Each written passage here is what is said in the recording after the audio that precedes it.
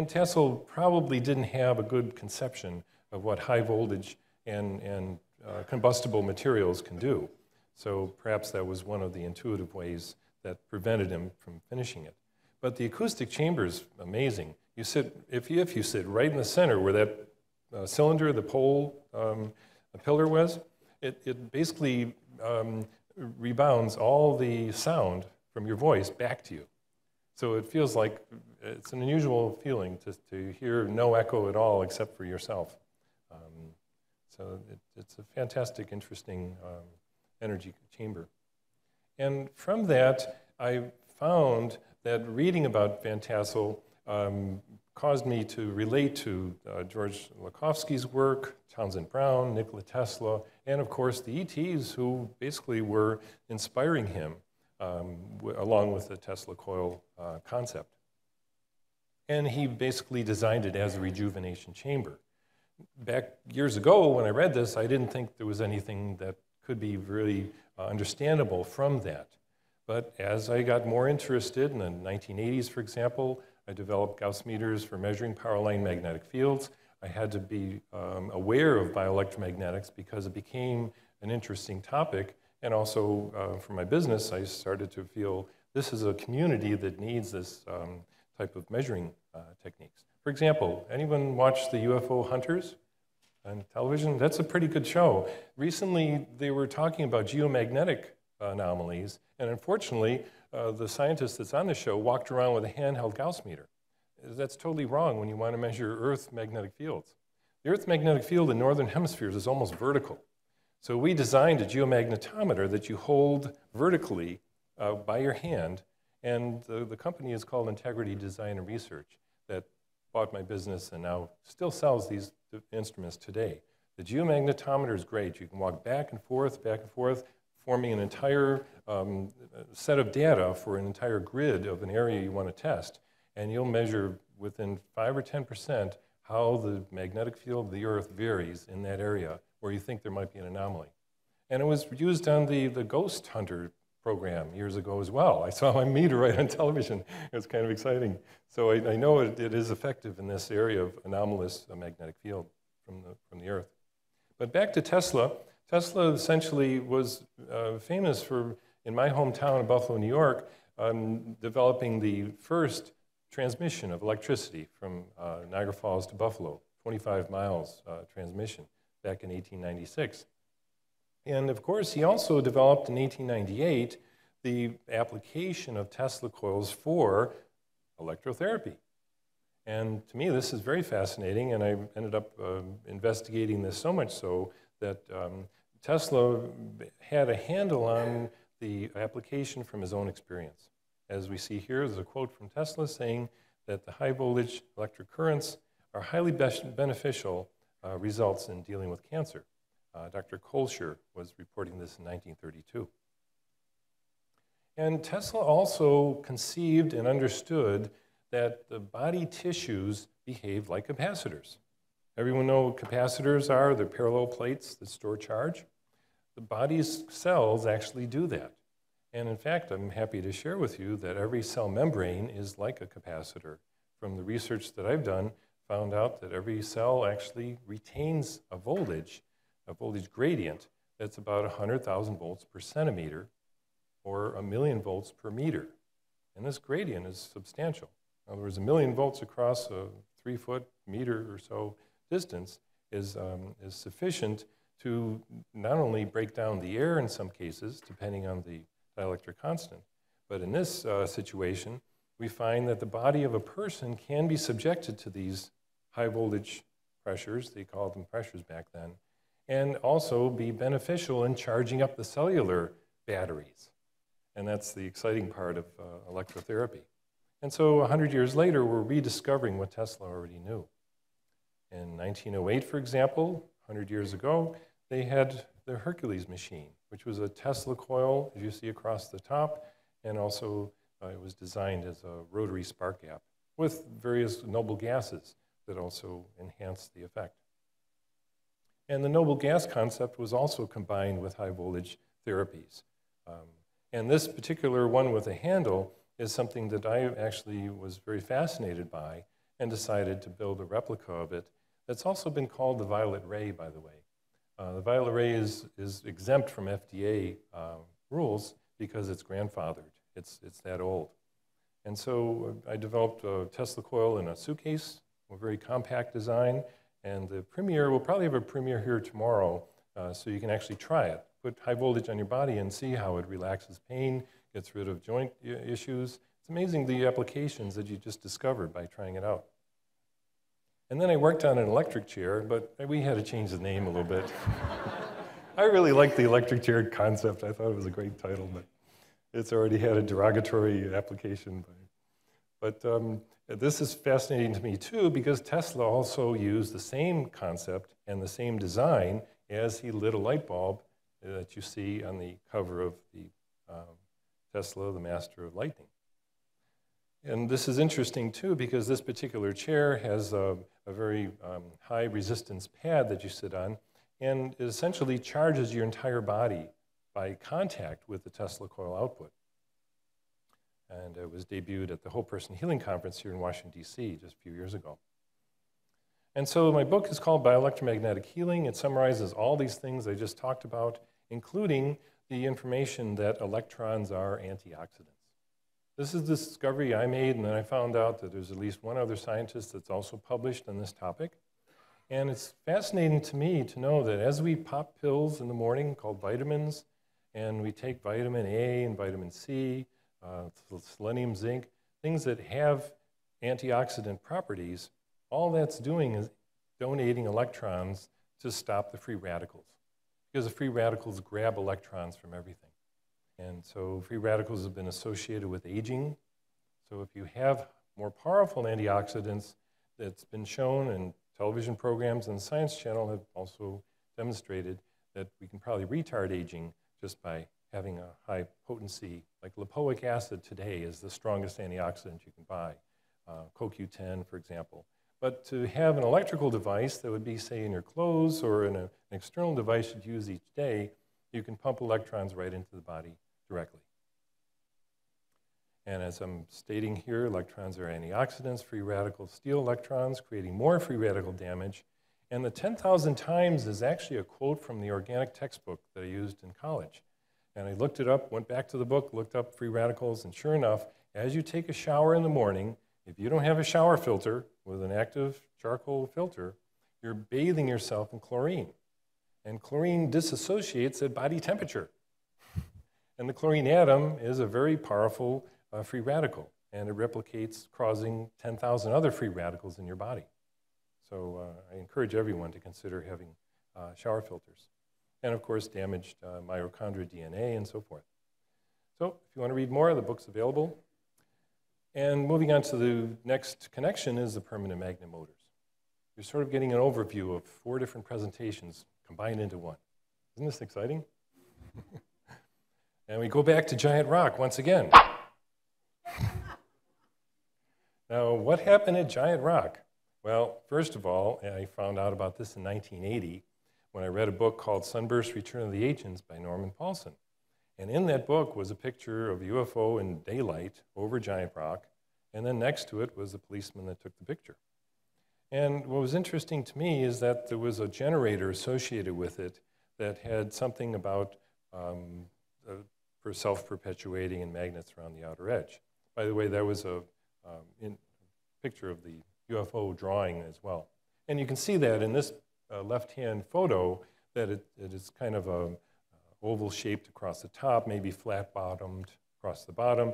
And then notice the plasma trail below it. And to me, this is very fascinating that the anti-gravity effect is probably associated with the field that is emanating from below the, um, below the ship. And as I say, the deputy sheriff who took the picture is also here uh, next to it. So this is a very, uh, very authentic. I was so moved by the book and the story, the, the land of Mu that was associated with the early origins of the Earth, that I thought I've got to go out there and visit this and see this generator. So I did. I contacted the organization, stayed there three years, and then ended up building a homopolar generator for a master's degree in physics, and convinced my uh, professor to let me do it for a, uh, for a project, master's degree project in physics.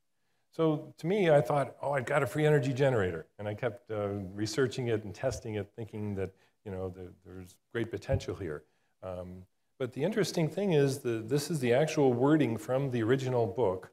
And then, of course, the later issues, the later editions of the book, he changed the title, he deleted this whole section. If you go on Amazon, for example, you have to get an old copy of the book to be able to read about this part of it. 12 magnets around the outer edge. When I talked to Norman Paulson, he said it was a non-conducting disk. Well, that's not quite a homopolar, but it's sort of interesting that there's 12 magnets around there. And then two disks were involved to generate the gravity effect. Um, and so I kept that in mind. I've kept in mind ever since as far as where can we find this type of arrangement. Well, this one led me into the story of John Searle. In fact, this book is available at our exhibit booth, Anti-Gravity, The Dream Made Reality. Uh, we had John Thomas, the author, a couple of years ago, give um, a double session, an hour and a half presentation on, on John Searle. And John Searle is a living legend. Um, he has so much detail about how this works. There's uh, like 12 big books he's written. Actually, John Thomas has helped author them, uh, edit them for him. But the bottom line is this particular generator has 12 magnets around the outer edge. and they just happened, you're looking at drawings that were designed by Russians who actually replicated Searle's work around 1990, uh, 10 years after I got involved with the homopolar. And they were German. Um, this was a German presentation that Searle did. And then the Russians found out about it, decided to work on it. And as it turned out, I found out through the Department of Energy, a fellow I know there emailed me, He said, hey, these Russians are working on, on something you might be interested in. Sure enough, I recognized it. This is a Searle device they're making. And they were only doing the outer edge, the outer ring. and here's a kind of a, a simulation of how this machine's supposed to work. And to the left is uh, John Thomas giving his presentation at our conference on future energy in 2006. Um, we do have the DVDs available. And the fascinating part about the Searle disk, which is the unique type of generator, is that it at low speeds produces electricity. At higher speeds, it produces the anti-gravity effect. So all of a sudden, I've got a connection here. The, the, the two phenomena, energy and power, we all need them if we're traveling away from the Earth. This is the only device I've found that includes both. And so there's lots of people that have tried and failed in reproducing this. Um, there's lots of extra, as you see, details at the bottom here, uh, connecting it with transistor type phenomenon. Um, I don't need to get into too much detail, Uh, suffice it to say, the Russians have done a lot of work on it. And so what we did, I found, I can give myself a little bit of credit because my institute is dedicated to helping inventors that have such unique inventions and also educating the public about them. So what I did was I found an investor, and the investor was interested enough to pay the Russians to come here to Washington, D.C., spend a week with Russian translators. We went to the Department of Energy as well, spent a day there with due diligence PhD people that, that grilled them and questioned them. And then uh, a year later, I ended up drafting a patent for them, um, basically drafting it so that then they could apply for their patent themselves. Um, and, and as you see some of the details on the side, is that 550 RPM was sort of the critical mode. It wants to accelerate in its, acceler in its RPMs once it gets up to around 600 RPM. And so they had lots of brakes. You can see at the bottom there's, there's various um, um, baffling and, and brakes and various other uh, ways to keep it slowed down so they can just get electricity out of it.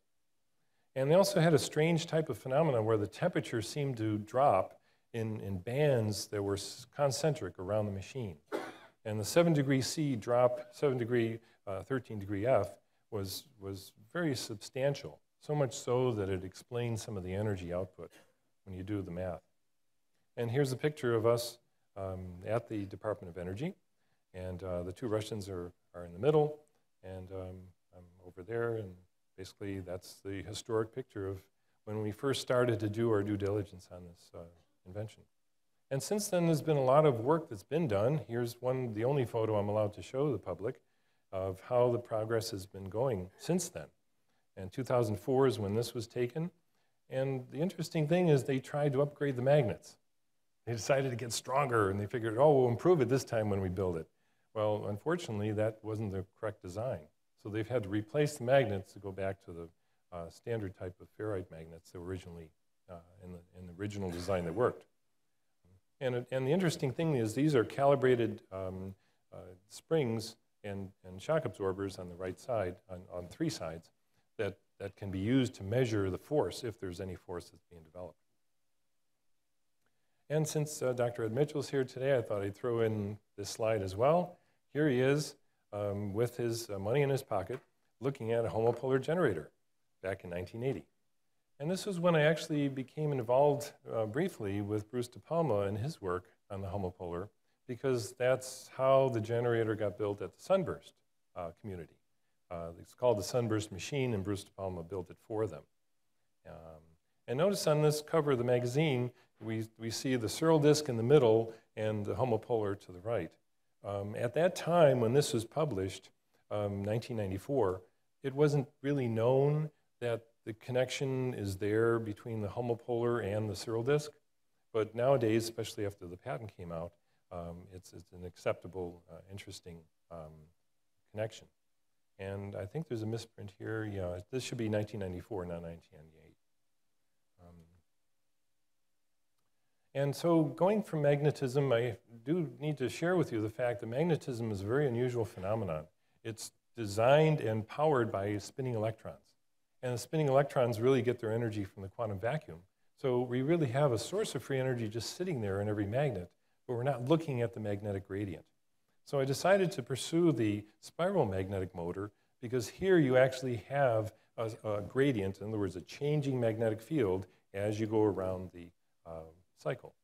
As you can see, the stator is very close at the top, and then it gets uh, wider and wider uh, as you go uh, clockwise around. And this was published in Popular Science in 1979, and this is the, probably the only uh, machine that works powered by a permanent magnet motor gradient. Now, unfortunately, the Japanese who worked on it, the Kure Tekko um, company, decided to put an electromagnet up in the le left-hand corner there, and this basically destroyed the free energy concept um, so that it could be self-powered. And instead, we're looking at some other improvements on it that basically are, are, are looking very promising these days. But if you wanted to test it for yourself, you can get a copy on, say, Google slash patents of this patent from Hartman. It's 4215330. And what's great about this is, and this slide sort of summarizes my um, arguments about the magnetic gradient, is that you can take and buy very inexpensively a whole bunch of small cylindrical magnets or bar magnets, as you can see in the top view uh, picture, put them together in this arrangement exactly as the patent shows you. Blow up the patent diagram big enough so you can put them right where they belong, and you'll see it propels a ball bearing. Not only propels a ball bearing horizontally, but the ball bearing will climb a 10 degree incline. And of course, the patent even shows you how you connect these in series, and of course, have something, I don't dare say it, perpetual motion? no, I didn't say that. But this is exactly the point that once you decide these and discover the source of the energy, perpetual motion is explained away. And I found it again and again in physics journals that they, they give, um, what would you say, verbal recognition, and they always put the Latin in there, perpetuum mobile, so it looks a little more scientific, you know. and, and they'll even put the one sentence that, that it may look like it, there could possibly be a connection, and then they discount it immediately by the scientific explanation. So it's, it's interesting how the science is advancing because to me, this is our destiny. We cannot keep burning fuel. We, we are really at our end of, of that cycle, and the Hubbert's curve proves it. So we have to get into a cleaner fuel source. And all the inventions that we keep coming across prove that this is really our destiny. And here you see some of the ideas. Over in the lower right-hand corner is my particular discovery. I've talked to the author who's published this in IEEE Transactions on Magnets. And this is a fascinating way to produce a pulsed magnetic field without coils. And it's a piezoelectric and um, giant uh, magnetostrictive device. So I have great hope for that, and we should hopefully be seeing permanent magnet motored cars. In other words, a magnetic car instead of an electric car. Uh, that's my design for the future. In fact, I've even talked to the flywheel people. Bitterly Flywheels, for example, is willing to design the magnets into the flywheel so that we'll have uh, the combination working and the flywheel storing the energy. now, the third project that I got involved with as well, and I have to give credit to Moray King for um, pushing me into this area, is the uh, quantum vacuum and zero point energy. We find lots of connections to various areas in the uh, literature that, that people love zero point energy. I mean, you've probably heard, how many people have heard zero point energy before I've even mentioned it? Great, this is wonderful. You're a good crowd. and, and then the fact is, you've probably heard lots of exaggerated things about it. However, the scientific stuff is equally as impressive. In fact, the scientific stuff is more impressive, so much so that you tend to disbelieve the actual science. Um, and of course, NASA's done a lot of work on it as well. Uh, it's associated with the Casimir effect. Here's a NASA website uh, page that describes 10 to the 24th or 10 to the 58th joules per meter cubed, which is amazing density. It has more energy density in a cubic centimeter of vacuum than there is in nuclear reactors of the same volume. That's the fascinating part about it. And yet no one's figured out how to tap this energy, you know? And that's where I come in. So what I've designed in the book is a lot of different scenarios and discovered inventors already pursuing them. But one of the fascinating areas that I think is the simplest, easiest, and of course, solid state is the rectifying of thermal and non-thermal electric noise. Zero-point energy causes noise in circuits. In fact, when you're looking or hearing a hissing sound on your radio or television, you're looking at the quantum vacuum. And you're looking at the background um, Big Bang noise as well. But the interesting thing is, any noise can be rectified, and that's where diodes come in. And there's lots of diodes I've come across that have zero bias. So, and of course, here's a couple molecular diodes. It shows how small you can make them. Now, one of our speakers at, in the 2006 Conference on Future Energy was Dr. Pinto, Fabrizio Pinto, who used to work for Jet Propulsion Lab. And he spent years there and then decided to form his own company. And it's an interstellar uh, technology company in uh, California. And here's his engine. It uses a Casimir force, but see, when you get down to the quantum vacuum state, you can actually do a lot of tricks. And so in my, one of my books, I have a whole list of toolkit tricks that a quantum vacuum engineer could actually play with. And one of the tools here he has, where you see RS on, and those of you over there, you see in the middle RS on, those are little micro lasers. And when he turns on a micro laser, he totally changes the Casimir force within the cavity. It costs him almost no energy to turn that little laser on, but the Casimir force has a big effect on the whole cavity, pushing electrons. And that's exactly how he's designed it. It's a tiny thing, as you can see, 50 to 100. This is a MEMS device, if you know what MEMS is. Um, and it's working on the micron scale. And of course, you can gang these up so you can get kilowatts and megawatts just by reproducing them much like we do right now in, in flat screen TVs. You've got a whole bunch of diodes in an array, and you're looking at the cumulative effect of all of them. Well, I decided to do this uh, when the, after getting fired from the patent office, I, I decided to finish my PhD. And, I, and interesting enough, and this is a good crowd to tell the story, in 1999, I tried to have my first conference on free energy at the State Department. Do you think I got in trouble for doing that? It worked real good for about a year until the only physicist in the State Department says, oh, we got to have a peer review of your papers. And I had 14, uh, two-day conference, 14 speakers all lined up. And of course, he didn't want to do a peer review. He just wanted to kick me out of the State Department.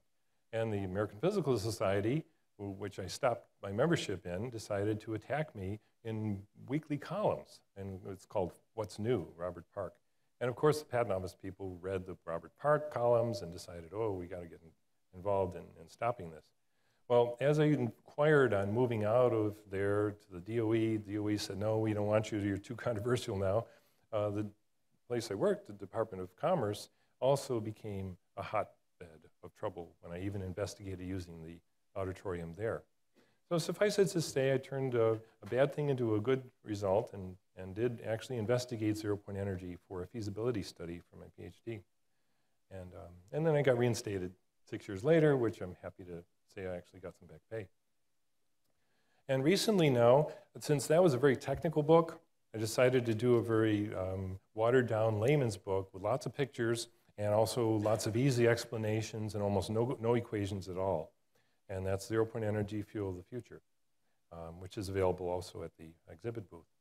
And so the interesting thing is you see this in the New York Times, you see it in lots of different magazines, and many UFO uh, articles always point to the fact that, yeah, this, these saucers that fly interstellar must be using zero point energy for their power source. Um, and, and this is something that we sort of take for granted, but we don't understand how this could be possible. And so I think there's great hope in the future, and especially now as we get to the last topic, propulsion, I think you'll see that there are a lot of um, ideas here that are worth pursuing.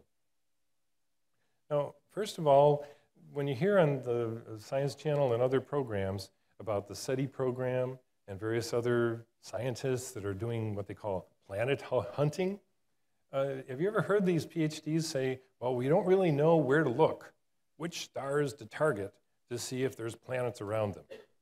Well, did they ever think of looking at the Betty and Barney Hill story and the star map?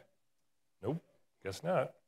And interestingly enough, as you look at the Zeta Reticuli incident, we have a few reprints from Astronomy magazine. This star map is the most fascinating star map made, even by astronomers, of our local neighborhood, up to 50 light years from Earth. And 50 light years is not that far. When you consider 100,000 light years is the size of our galaxy, 50 light years is really the, the range in which we're exposed to. And it took years later for Marjorie Fish to put together a 3D bead and string replication of the star map. And, and I have to correct that because she did a 50 uh, light year local neighborhood uh, mapping of all the stars and then started to look for the star map to see if there's any correlation. And as it turned out, this star map verified that all the stars in this drawing our solar mass size.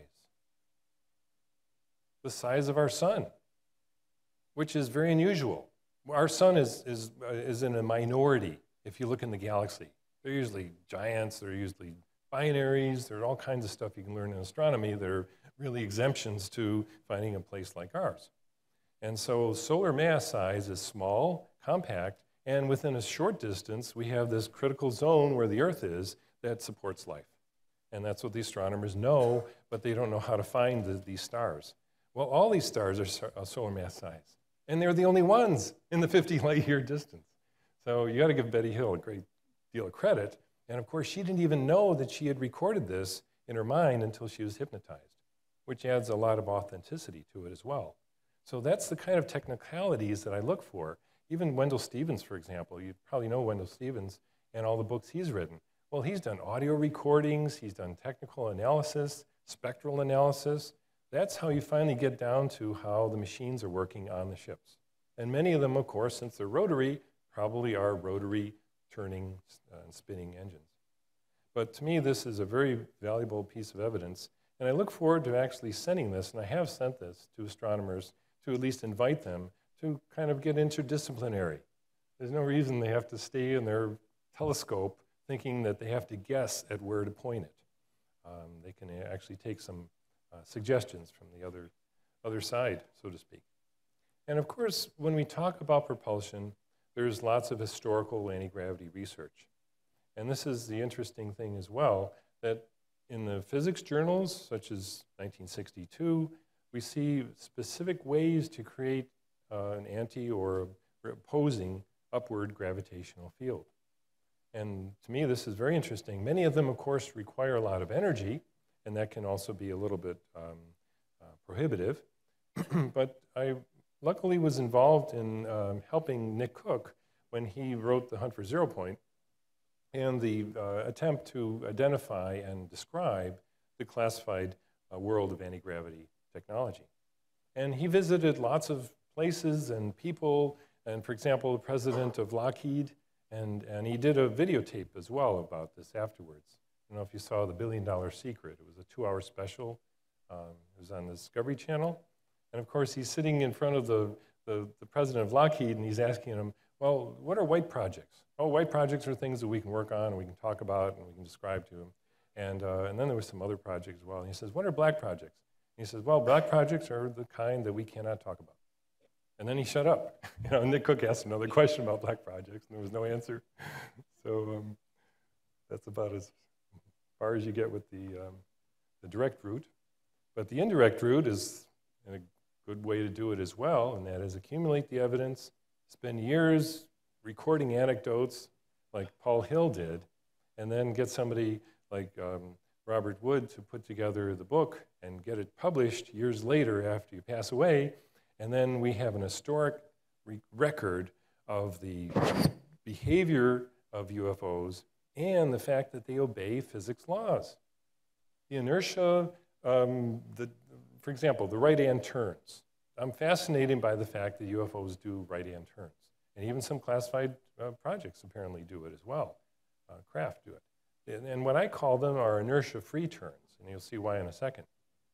But the interesting thing is, Paul Hill does a great analysis. If you have the ability to create the force, like a 10G reversal, um, you basically can see it happening in less than a second. So, so a person sitting on Earth looking at this UFO make a very quick turn, he might think that it's violating the laws of physics. But Paul Hill proves in this book, and I highly recommend it for people investigating any science behind UFOs, uh, to find that you can actually explain, as he does, comparing airplane acceleration and saucer acceleration, the same principles apply. And the banking effect on this diagram here is true. Saucers will bank when they turn, just like airplanes do, because the force is being projected out of the bottom. So this is the future. For example, here's a good video to show you what I'm talking about. Now watch this saucer very closely as we pan out.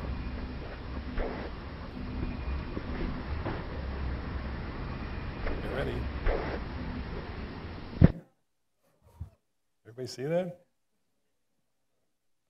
I love it. and see, that type of acceleration is really something that um, I think is our future too, because the field propulsion also involves the separation of the, what's causing the inertia, and I'll explain that in a second. So here's some examples of UFOs that at least had some scientific explanations behind them that a physicist could actually look at and then try to make some sense out of it. Uh, the electrokinetics of Townsend Brown, uh, John Searl's electrogravitics, and of course the secondary gravitational effects like the Lazar saucer. Um, he's given a couple lectures that are on videotape explaining how the nuclear strong force can actually be connected to gravity. And it does make sense. There is some physics there that's worth pursuing. Um, the Adamski UFO, Andreasson UFO, and so the interesting thing is, we've oftentimes in audiences, especially, for example, the National Space Society, when I give a similar lecture, I tone it down as far as the mention of UFOs, of course, but I at least include this slide and some of the others, because here's research that is now, to me, very scientifically valid in associating subsonic flight and superluminal flight.